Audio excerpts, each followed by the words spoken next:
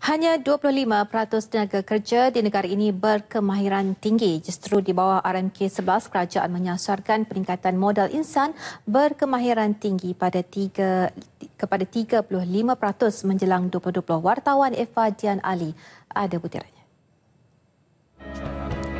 Bagi mencapai sasaran 35% pekerja berkemahiran tinggi, kerajaan memperkasa pendidikan teknikal dan latihan vokasional atau TVET serta memberikan penekanan kepada penguasaan sains, teknologi, kejuruteraan dan matematik atau STEM. Kerajaan juga mengenal pasti TVET sebagai komponen penting dalam membangunkan negara ke arah menjadi negara maju menjelang 2020 ataupun mensasarkan uh, lebih banyak graduat uh, daripada bidang daripada bidang TVET ni lah. Uh, ini adalah untuk menghasilkan uh, sekumpulan ataupun talent pipeline kepada pihak-pihak industri yang memerlukan dari segi teknikal uh, keperluan teknikal sebagainya uh, supaya industri ini boleh berkembang.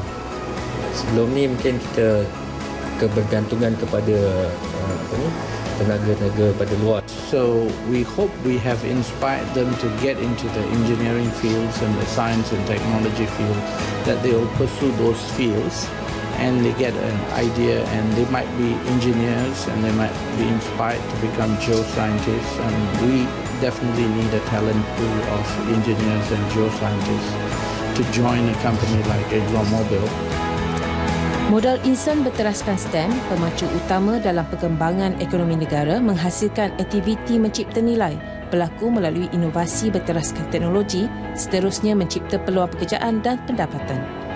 Kini jalinan kerjasama yang dibentuk oleh industri berasaskan STEM bersama pihak pengajian tinggi satu langkah dalam mengenal pasti bakat dan kemahiran pelajar itu.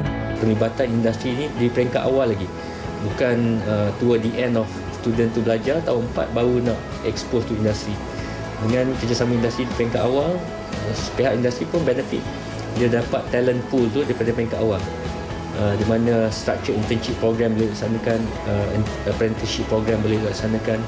Penganjuran pelbagai program berkaitan STEM di peringkat sekolah mampu meningkatkan bilangan pelajar dalam bidang sains dan teknologi kepada nisbah 60-40 pada tahun 2020 seperti yang disasarkan kerajaan. Uh, untuk menjadi negara maju menjelang wawasan 2020, Malaysia tidak boleh lari daripada uh, apa yang dikata nisbah peratusan uh, negara-negara maju di dunia yang berpaksikan dalam sains dan teknologi kita perlukan nisbah 60-40 tetapi apa yang berlaku sekarang ini ialah 33 uh, 67 gitu.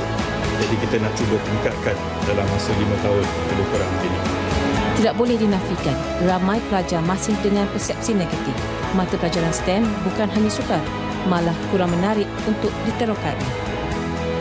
Bagi menanganinya, semua pihak, baik kerajaan, pendidik mahupun ibu bapa sepatutnya berganding bahu merealisasikan kerangka pendidikan STEM negara ke arah melahirkan modal insan yang celik, kreatif dan inovatif.